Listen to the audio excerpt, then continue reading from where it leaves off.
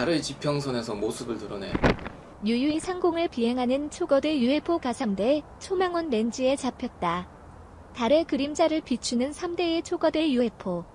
3월 26일 아직 날이 밝은 캐나다 몬트리올의 하늘에 떠있는 초승달에 3대의 초거대 UFO의 모습이 출현했다. 태양광에 비춘 달의 그림자를 들이우며 비행하는 초거대 UFO를 초망원 렌즈로 포착한 동영상이 4월 3일 유튜브 채널에 게시되었다. 동영상은 당일 오후 늦은 시간에 촬영한 것임이 적혀 있지만 어떤 장비를 사용했는지에 대해서 코멘트하지 않는다. 수평선에서 서서히 모습을 드러내 비행하여 초승달의 그림자 부분에서 사라져가는 3대의 거대한 UFO가 놀랍다. 그 크기도 굉장하다. 달의 크기에서 계산하면 이러한 UFO의 길이는 수천 미터 단위의 크기가 된다고 한다. 초거대 모함이라고도 부를 것 같은 UFO가 3대나 출현했다는 것에 어떤 의미가 있는 것일까? 가짜 영상인가? 비디오 카메라에 담긴 초거대 UFO의 선명한 영상에는 눈을 의심할 뿐이지만 이 동영상을 소개하고 있는 웹 미디어 Boing Boing 기사에서는 이 영상에 대한 두 가지 가능성을 지적하고 있다.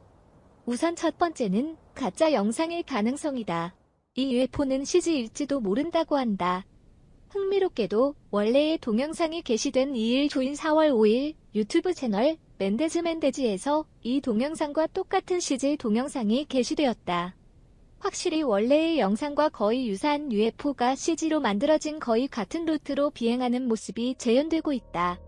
또한 다른 유튜브 채널에서는 나사 의 데이터를 이용하여 BFX 기술을 구사해 달의 상공을 비행하는 UFO 영상을 제작하여 게시하고 있다.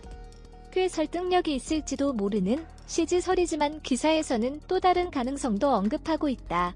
그것은 물론 이 UFO가 외계인 문명일 것일 가능성이다.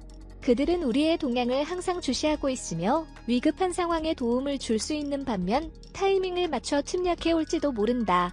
앞으로도 달에서 이런 종류의 UFO가 목격되는 일이 계속된다면 이건에 대해 다른 전개가 될지도 모른다. 시청해주셔서 고맙습니다. 좋아요를 눌러주세요. 반드시 채널을 등록하시고 알림을 켜주세요. 새로 영상이 등록되면 바로 아실 수 있습니다.